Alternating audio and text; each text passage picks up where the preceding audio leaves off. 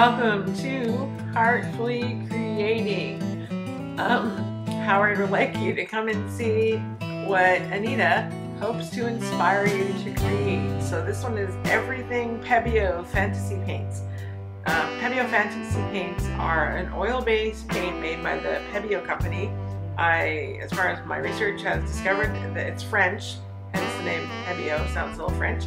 Um, I'm just going to show, this isn't really a tutorial, but it can, it can be because I'm going to talk about what I did and how I did it. Um, so the Pebeo paints are, there's Pris, Prism or Prisma, Prisme and Moon was the other kind. There's two different types as well as these little tubes of paint that you're going to see. They're acrylic based and you use them for outlining or leading, like if you're doing stained glass windows, I would love to do stained glass. Um, you make lines, right? You'll see black lines. Nowadays, I don't think they use actual lead, but it, whatever they use to create black lines, I am totally ignorant when it comes to stained glass windows. The Pebeo paints have mica powder, and you have to stir them really well with a stir stick or a skewer. It is messy and a little smelly, so if you're sensitive to oil-based paints, um, you might want to consider that. It's definitely something that, for me, it's not going to be a regular thing because they're very expensive, I find, but they were very fun to play with. So what I did was I just drew random images on canvas boards that I don't normally use but when, because they warp, but canvas boards that are small seem to stay pretty flat. So I just drew some designs with the outlining paint and then I stirred them up and I used little pipettes. You can use toothpicks that you dip into the paint once it's stirred really well and then you, you literally you don't paint like I'm a visual artist who has worked most of my life in acrylic paint using paintbrushes and all of that. Well, with Pebeo paints, there are artists out there. I saw some gorgeous work on, on the internet, so feel free to look it up. You can paint on glass, metal, I actually covered a pair of glasses in, in a layer of their Vitrail paint, which is another one that's a glass paint. You can get translucent. I can go on about it. It's a really neat product for glass painting. This, um, these fantasy paints, they're called, um, they're called fantasy paints because you can actually drip them, you drip them literally, and they pool. You'll see um, in the paintings that are about to come up. As I started to drip in and fill in the areas, there's a chemical reaction and, that happens and the two different types, the moon and the prisma or prism, react to each other and you can get like the um, well, the one paint, the prism paint breaks up into what looks like little hex hexagon shapes or like like a beehive shape, almost reminding me of chemistry charts. I couldn't take chemistry in school, but it reminds me of chemistry images where it's like in little hexagon shapes, you'll know what I mean. um, when you look at the jewelry, you can see even better. But if you pause, you can take a close look in there. and some of the areas you see really cool special effects. So really these paints for me were all about playing around. I'm not painting a picture like I would with a paintbrush. So I am painting literally using an eyedropper or toothpicks that I dip into the paint. So it's just really fun to play around with. And it's also really cool. Um, the oh, oh, by the way, the outlining paint is in, also comes in gold and I believe copper. So as you can see there, I didn't use black. So just lots of fun. Just play around.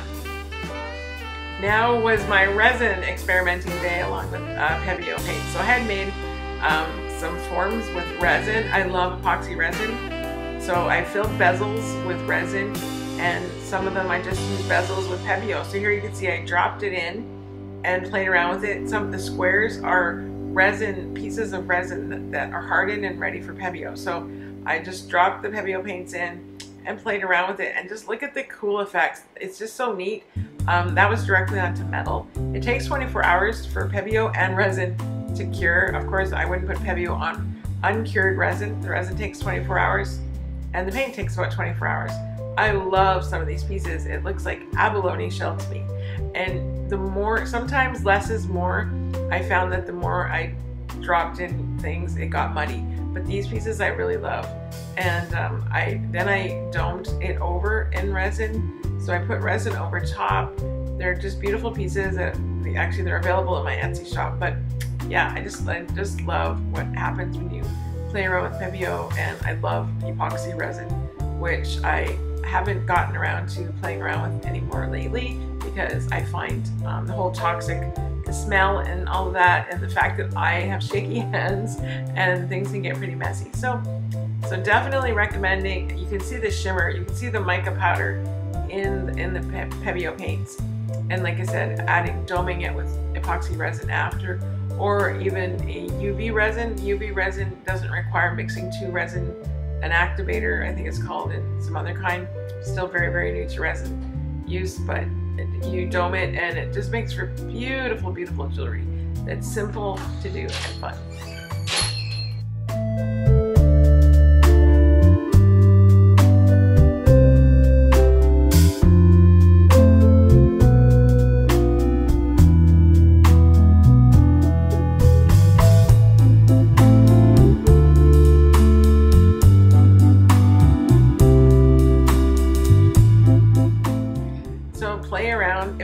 Decide to experiment with Pebeo paints, just know that because they're oil-based, you do need um, Varsol or something like that to clean brushes if you use a brush. But because I use disposable pipettes or droppers, or you can use toothpicks, you can just dispose of those quite easily. And just remember to keep the lids on really tight because when they sit around after they harden and I had to get my husband to open most of the jars. Um, yeah, so so just be careful and, and, and have fun. So if you do, I think you can buy, actually you can, you can buy Pebeo sets that um, for, for fun, just as a starter set, so you can play around with instead of investing in all of them. Um, I didn't get every single color, but I got a problem. It's kind of addictive. Once you get them, you want to have all the colors. Um, I definitely recommend actually more of the moon paints because, or the prism, sorry, I take that back the prism paints because the prism ones are the ones that break up into little, like have a reaction, like a molecular almost reaction and create that really neat effect where the, the, um, the moon paints, they're more just mica powder and an oil-based paint. So, which is still neat and you can swirl them and manipulate the paint with a toothpick if you want as well. Just little, just dropping and that's, this is a, a, a resin piece um, that I just used as a base to put the Pebeo on and then domed it with UV resin on top of that. So enjoy the rest. Um, I hope it sparked your interest in Pebeo Fantasy Paints. They also have a product line called Vitrail, which is a great glass paint. I don't even want to go there because it's too expensive and I'd be too addicted. So I'm trying to focus on my other my other favorite medium, which is polymer clay. So I can't say Pebeo is my favorite it's just really, it was really fun to play with.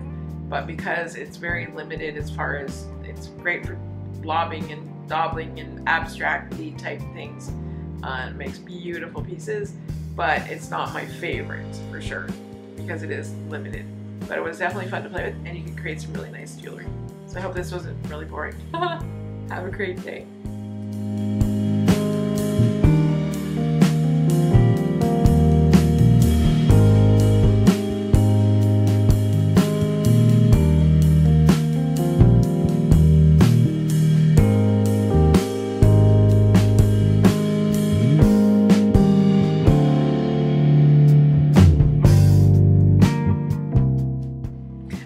For watching this. If you made it to the end, please like, click, uh, share, and um, you know, subscribe if you want to keep up to date.